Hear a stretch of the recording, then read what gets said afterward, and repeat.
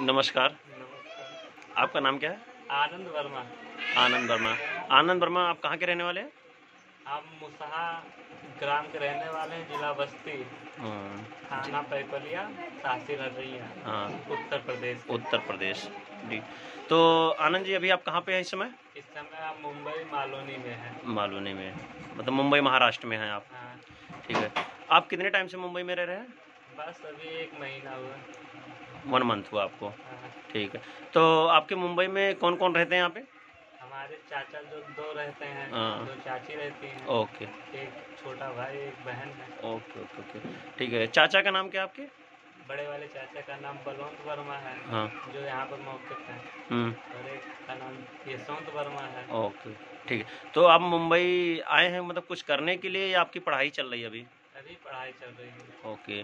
तो आप यहाँ पे घूमने के लिए आए हैं मुंबई? हाँ ठीक। तो आपके चाचा लोग का सहयोग रहता है आपके पर हाँ पूरा सहयोग रहता है। ओके ठीक है। मतलब अच्छा होना चाहिए जैसे आपका ध्यान रखते हो आपका मतलब सपोर्ट है। मतलब तो आप घूमने के लिए मुंबई आए हैं।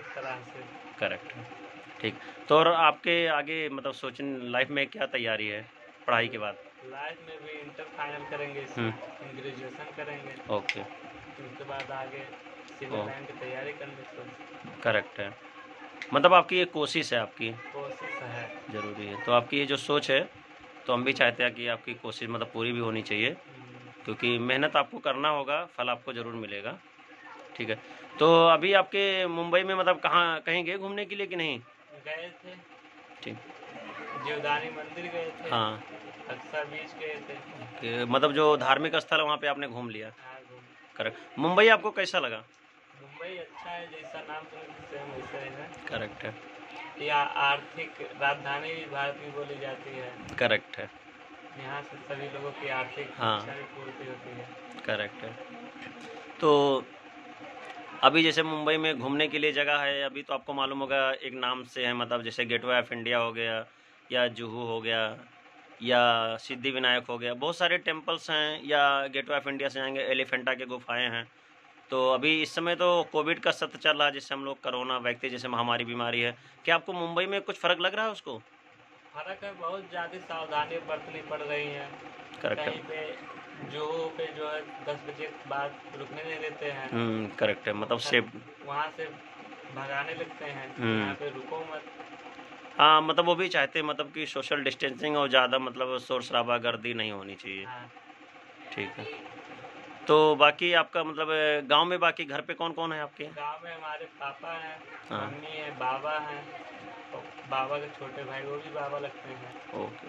और छोटा भाई है जो फुल टोटल फैमिली मिला के सिक्स लोग छः लोग हैं। करेक्ट है। तो आपके घर में सब सारे जॉइंट फैमिली सब साथ में रहते हैं? सब जॉइंट फैमिली एक साथ एकता है ओके। अच्छा मैं एक चीज़ पूछना चाहता हूँ आपसे।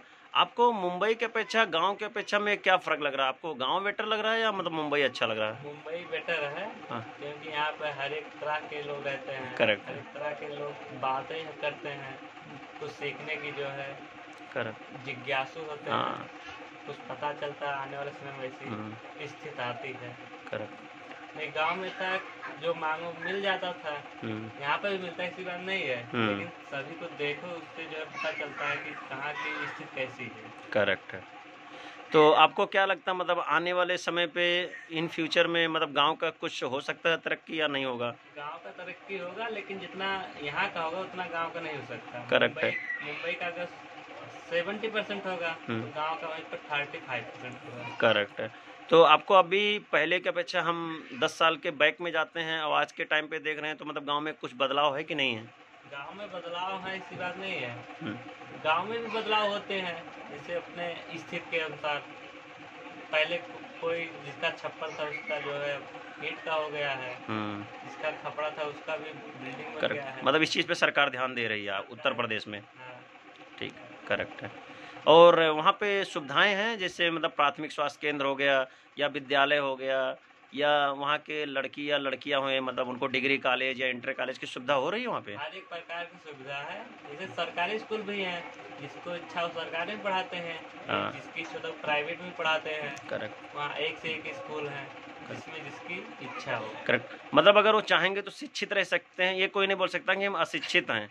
कोई बोल नहीं कोई सोच भी नहीं सकता कि हम अशिक्षित हैं। करेक्ट क्योंकि छोटे रहने पे सब सोचते हैं कि हम हम जो किए हमारा बच्चा वो काम मत करे करेक्ट। उससे आगे निकले। करेक्ट सही है। अगर हम जो एक पीढ़ी चले हैं तो वो चार पीढ़ी के आगे जाए यस यस यस ठीक।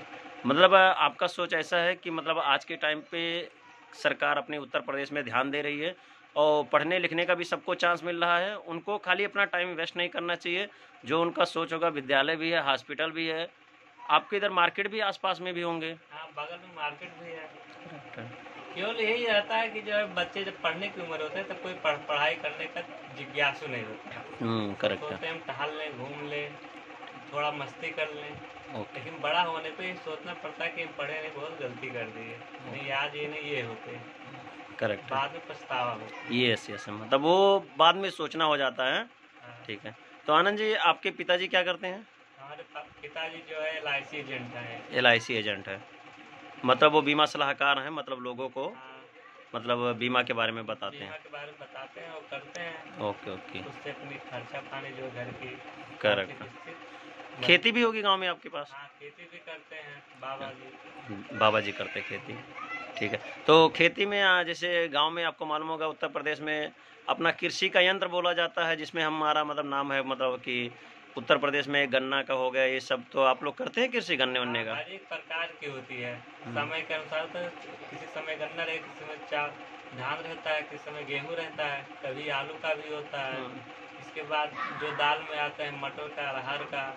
मंसूर का इस हर एक प्रकार की खेती होती है। आ, मतलब हम तीनों सत्र में हर चीज़ को उपजाऊ कर लेते हैं खेती में। एक साल में हर एक प्रकार की एक एक बार अवसर आता है। करेक्ट है। और बाकी आपको तो मुंबई में अभी आप हैं ना? अभी मौके मुंबई में है हाँ। घर पे जाने वाले हैं हम। ठीक। ठीक। और बाकी मम्मी मम्मी भाई भाई सब? सब ठीक है जो है। तो छोटे भाई हैं। हाँ। हमसे जो माझिल है हम्म। उसका नाम आशुतोष वर्मा है। जो सबसे छोटा है उसका नाम आदर्श वर्मा है। हाँ। और एक बड़े वाले चाचा हैं। जो इस समय गाजियाबाद में हैं। Okay okay. और साथ में चाची भी रहती हैं। ओके। तो एक छोटी बहन एक छोटा भाई भी है। ओ। भाई का नाम दिव्यांश है हाँ। और बहन का नाम एंजल है। Okay okay. तो आपके चाचा जी जो मुंबई में रहते हैं वो मुंबई में क्या करते हैं? मुंबई में वो जो है बड़े वाले चाचा वो लेंस का काम करते हैं शूटिंग। शूटिंग में मतलब वो फ़िल्म इंडस्ट्री में फोकस का काम करते हैं। करेक्ट है। और वाले चाचा जो है कैमरा टंडन है। हाँ छोटे वाले चाचा का नाम क्या बोले? Yashwant Verma. Yashwant Kumar Verma. Okay okay okay. बाकी सब अच्छा लग रहा है ना मुंबई आपको? मुंबई सब अच्छा हाँ। मुंबई तो माया की नगरी है आपको तो मालूम ही होगा। हाँ तो है। हाँ ठीक है। और आगे कुछ बोलना चाहेंगे आप? आगे क्या बोलना है? जो हो गया। और अच्छा जैसे अपने गाँव में सरकार है तो सरकार जिस हिसाब से कार्य कर रही है लोगों को सही लग रहा है लेकिन क्या चीज़ें अपने को बेसिक चीज़ें और क्या ज़रूरत है? सरकार जो कुछ काम सबके अनुसार तो नहीं कर पाएगी वो अपने अपने अनुसार करती है। अगर correct. सोचेगा तो जो कर ही नहीं पाएगा। कर ही नहीं पाएगा क्योंकि हर किसी का डिमांड कहाँ पूरा हर करेगा? किसी का डिमांड कोई फैमिली नहीं कर पाती है हाँ, तो मेन होता है तो वो तो सरकार। आपके बोलने का मतलब है कि ज़रूरतमंद चीज़ों को ही मतलब वो चीज़ को साबित किया जाए कि लोगों को क्या चीज़ को ज़रूरत है अभी। जिस समय के अनुसार किसको क्या ज़रूरत है उस हिसाब से जो है हर एक स्थान पे। प्रयोग किया जाता है जैसे किसी मंदिर में हुआ हम्म, तो हर एक सेवक जो होता है उसके अनुसार नहीं हो सकता। हम्म, वो सबको देखेगा जिसके लिए ज़्यादा अपेक्षा होंगे वही काम होगा। हम्म, ठीक। चलिए। ठीक है तब हाँ? ओके। चलिए नमस्कार।